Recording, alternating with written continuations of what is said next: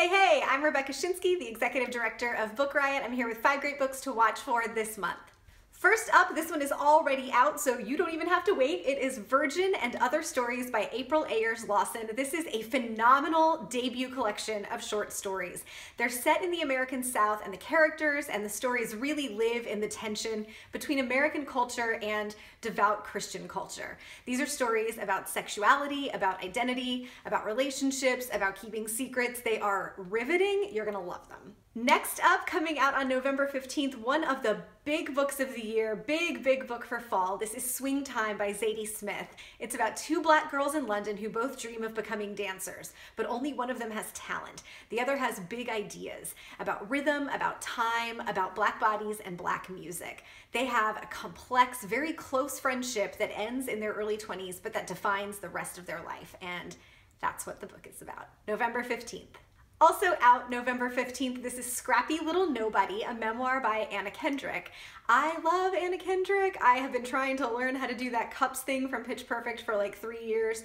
This is a terrific sort of memoir in essays about her life performing. She started on Broadway very young. She was in Annie and then eventually got involved in movies and was in Up in the Air and the Twilight movies and a whole bunch of other things. And this is about what performing means to her, how acting has defined her life, the risks that she took as a young person to leave home, to move to New York, and then to move to Hollywood. It's really wonderful, so much fun. If you like her on Twitter, you're gonna love the book. Again, November 15th. Another one for November 15th. This has been sneaking up on me and I haven't had a chance to take a look at it yet. It's The Clothing of Books by Jhumpa Lahiri.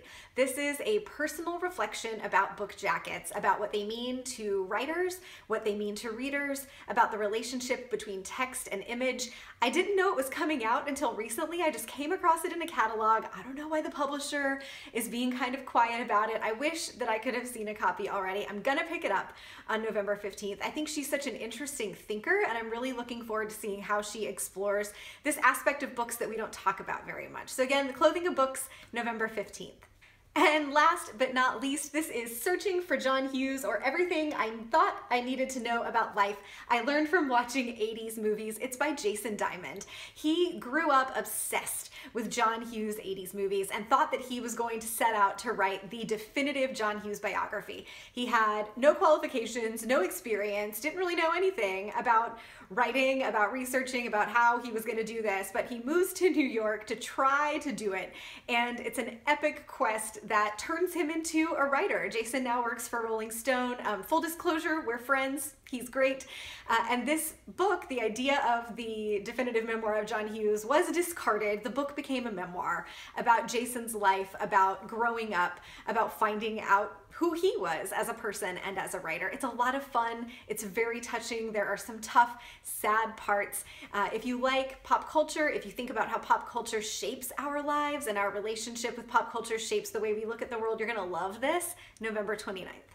Okay, those are my picks for November, but there are a ton more great books coming out this month, so be sure to let me know what your picks are in the comments down below. And as always, don't forget to click on subscribe to stay up to date with all of Book Riot's bookish goodness. I'll see you next time.